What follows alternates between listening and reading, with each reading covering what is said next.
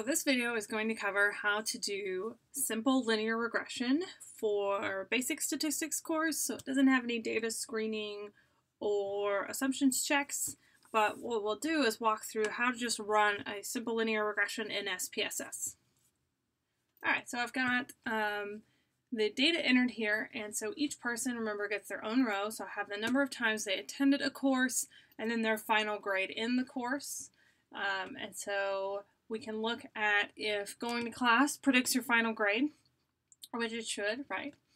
And so I want to use attendance as my predictor variable, or x, and grade as my criterion variable, or y.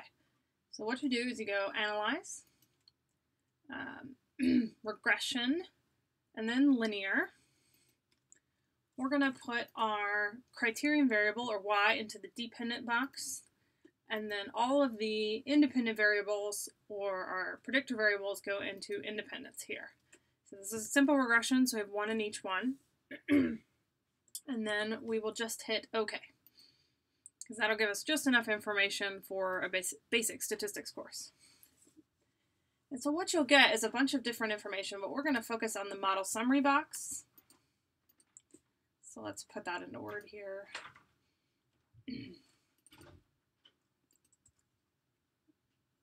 maybe. There it goes. Whoops. And then the coefficients box. All right, so this should give you enough information to do a couple of things. Generally, you're asked to write out the equation. And so the equation is going to be here under B. It's a little confusing because they're both listed as B here, where it says unstandardized coefficients, but you'll look and you'll notice that first box says constant.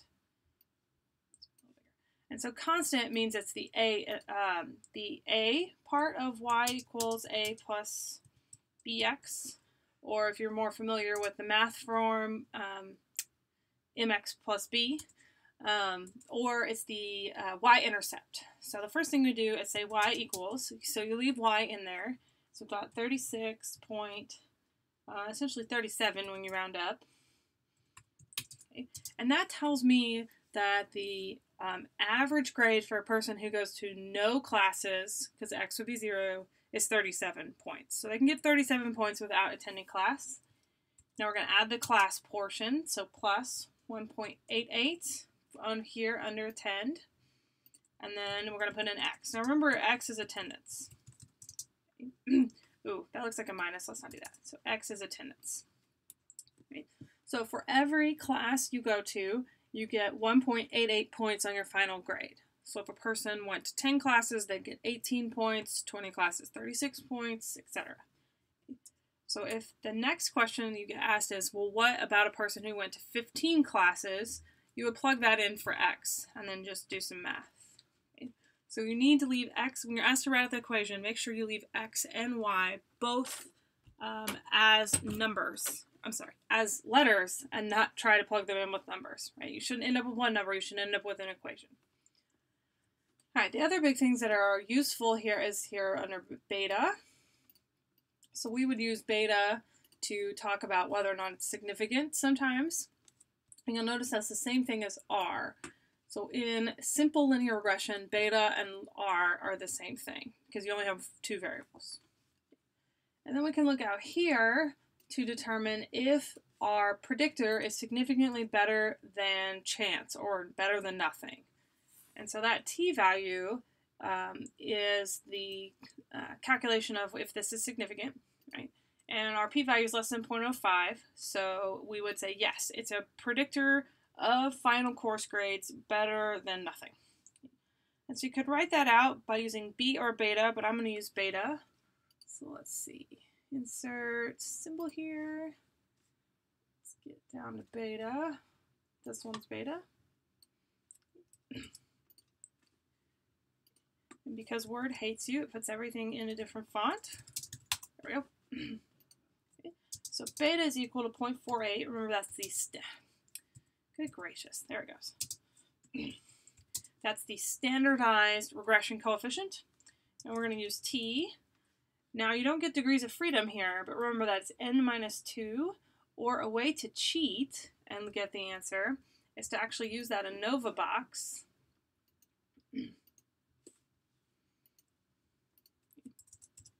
Which I don't really usually recommend using, but it's this residual number right here. or you can just remember that it's n minus 2, 1 for x, 1 for y. We have 40 participants, so it's going to be 38. And that is equal to 3.39. Okay, and it is significant because p is less than 0.05 versus 0.002. okay. So that means that attendance predicts final course grades.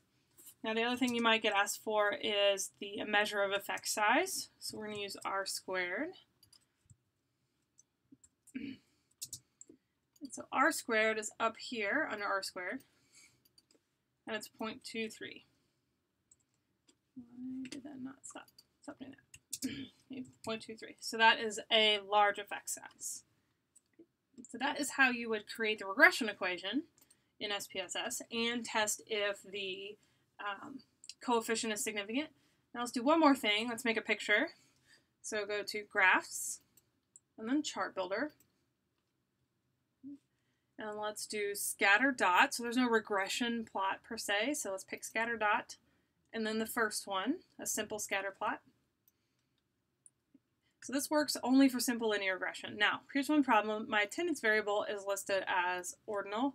Um, so I want to change that to scale here uh, so I can get the line of best fit. If they're not both scale, it won't create the line of best fit for you. Okay, so you can right click on it and click on scale, or you can close out and go to variable view and change it under measures. So uh, here you want to make sure you put your x variable into the x-axis, your y variable into the y-axis. So we've got attendance and grade, predicting grades. let's hit OK.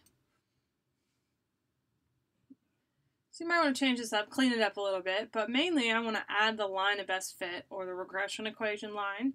So double click. And then it's this one here. So add fit line at total.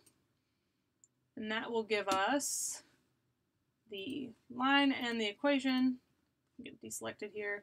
And so I should have said y equals 37 plus 1.88x, and that's what we did over here. So we know we've gotten this part right. Um, or you could do the equation first and then run the regression to make sure you've done the regression right.